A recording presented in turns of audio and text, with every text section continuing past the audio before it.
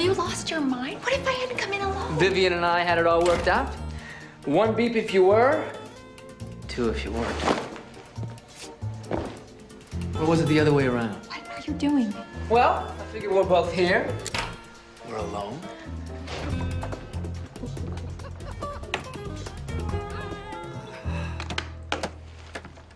I gotta go. I was supposed to be down in the test kitchen 10 minutes ago. How about dinner tonight? Just the two of us. Sandy can babysit. Well, aside from the fact that she's off with Rusty for the weekend, why would you just assume that? I mean, she has her own life, you know. What do you mean she was off with Rusty? Off where? His grandparents' cottage on the Cape. She asked you this morning. You said it was okay. Well, like hell I did. In the kitchen? I thought you were being awfully casual. Was she trying to bamboozle me? I never would have agreed to that.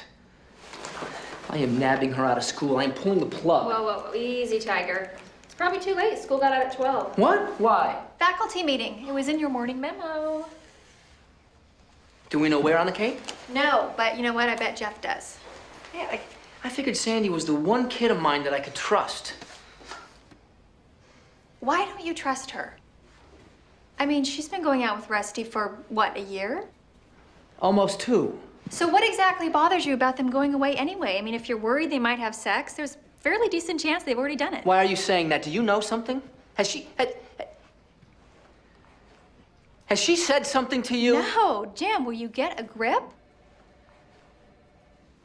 Have you and Sandy ever talked about sex? Yeah, well, and we, you know. Have you talked to Moira? Yeah. I mean, the day she got her period, I told her whenever she was ready, I'd get her the pill. She's 14 years old. That doesn't mean she can't get pregnant. Look, we've talked about abstinence, we've talked about self esteem, we've talked about finding the right partner. But when it comes down to it, I want to be able to trust her judgment. Yeah, well, being much more of a Neanderthal, I am gonna go and find Sandra, and I am gonna drag her back here. Hey, Ace, before you storm off to rescue your wayward daughter, you might want to stop home and get dressed first.